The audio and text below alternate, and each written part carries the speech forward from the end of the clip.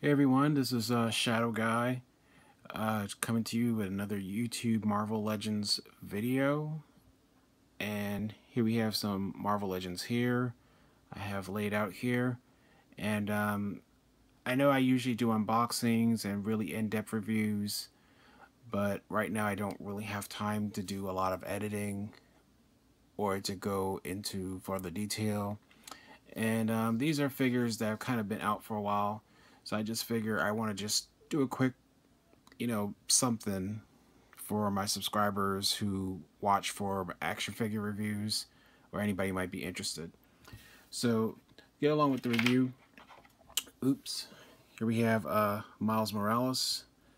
Um, Spider-Man, this is from, I forget what wave it is. Um, it's one of the more recent waves.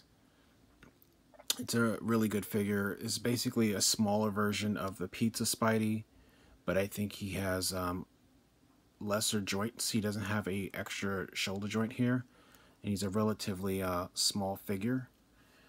He comes with, um, come down, he comes with two sets of swappable sort of like web hands. So you have two examples right here, and then the other two right here, another set of like open hands and a fist, which alternate with the fist and the web hand that are already here. So you have three pairs of hands to do different um, poses with him.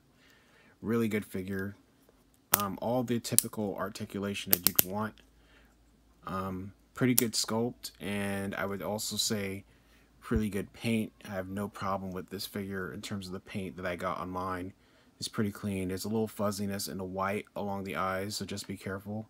And sometimes, like right on there on mine, it's not really covered. Sometimes the uh, paint doesn't get aligned, the lines correctly. Otherwise, because he's basically a black figure, and then they're putting red ink on him, it's not that bad. You really shouldn't have a problem. And here's his swappable head. Looks just like the comic book Miles Morales, I think it's pretty accurate. So I would definitely buy him if you can get him. Moving on here to Electro. This is the older version of Electro. But he has a swappable head, which I can't seem to find right now. Ah, that's interesting. He has an alternate head. That's more of the modern Electro, but basically, this is what he is. He's a villain. He's a member of the Sinister Six. Um, really nice paint work, but you know, it's the typical Spider-Man figure build. So this is the adult body like I was talking about.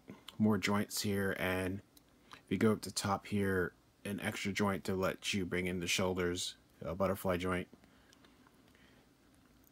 The typical Marvel Legends articulation, the double jointed elbows, uh, the double jointed knees, which you can do here, ankle pivot and rocker, um, good ab crunch. It doesn't click like the Miles one. And it kind of looks weird here.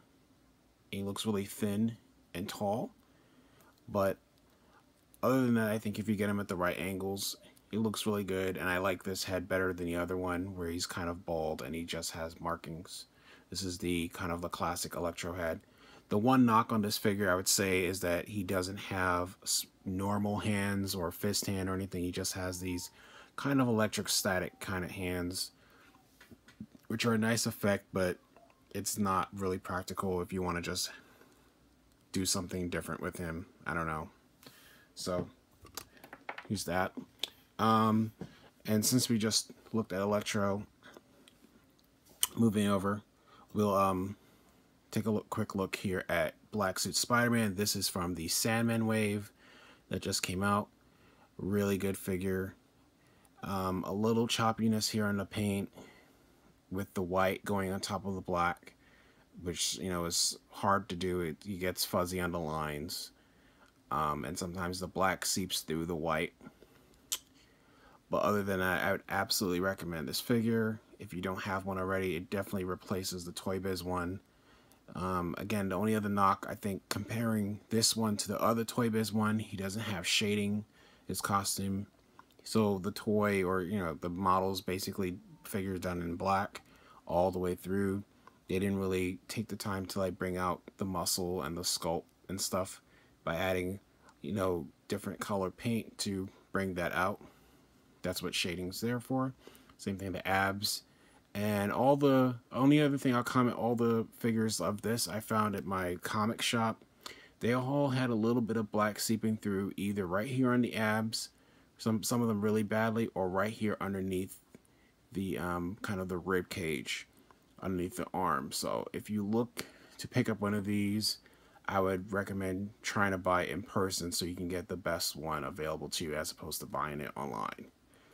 But for a classic um, Spider-Man figure that we haven't gotten in a while, I would definitely recommend this one. And in comparison to Miles, this is, like I said, this is the adult kind of body. This is the teenage kind of body, ultimate Spider-Man body, so it's a significant difference in height. And last but not least, and what I think is the best figure here, um, here we have uh, Cindy Moon or Silk from the comics.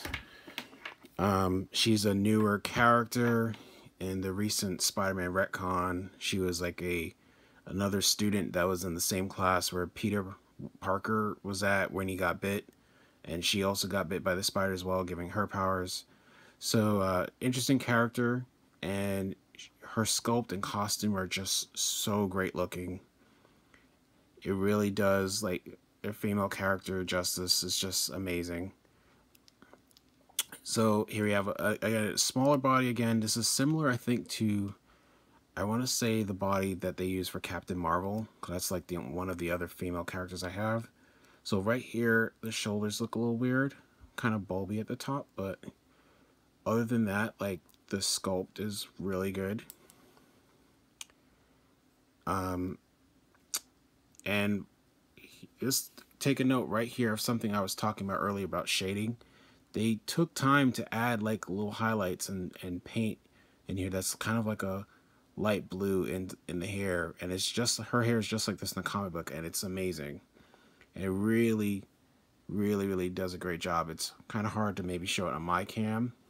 Um, but if you get some high quality pictures of her online, I'm sure you can find it. And sh she comes with a swappable head. So this head has no mask, as opposed to this one has a mask.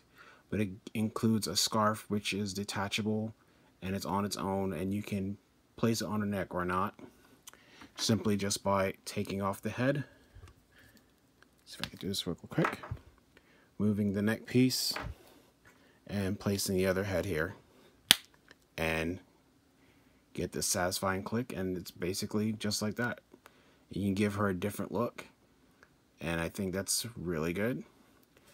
If you have a nice diaphragm joint and the web design with the fading out from red to black is so cool. The gradient there, you don't really see that in a lot of figures. So I would definitely recommend this figure. You look at the work on the back there. So cool. She comes with um two other pairs of hands. If that's right, no, that's the Spider-Man. I'm sorry. So yeah, she just comes with the parts for the Build-A-Figure Venom, which are like these. This is like an arm. You have a leg over here, and I have another leg sitting over here. So you get those pieces to like build Venom from the Guardians of the Galaxy, which is a different Venom than the like symbiote kind of based one. But all in all, um, these are the figures that I bought picked up recently. Got these at Midtown Comics, local comic shop in New York. And I would definitely recommend these guys if you can get them. They go around 15 to 20 bucks matter of fact, actually, I got the Electro. Can't get him to stand up now. It's all right. Um, I got the Electro at a drugstore or a pharmacy, I think, and he was like 12. So if you can grab these anytime you see them, if you're a comic book fan and you like the uh, action figures like I do and the articulation, and um, just because you're a fan or whatever, um, I would definitely recommend pick them up. So uh, thanks again for this quick short video. We are running about 10 minutes and we got to review four figures here.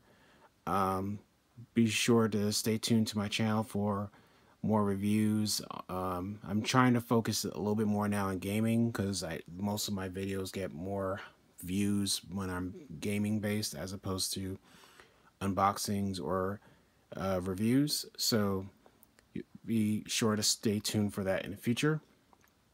And I'll see you in the next video. So thanks again for watching to the end. And this is Shadow Guy signing out.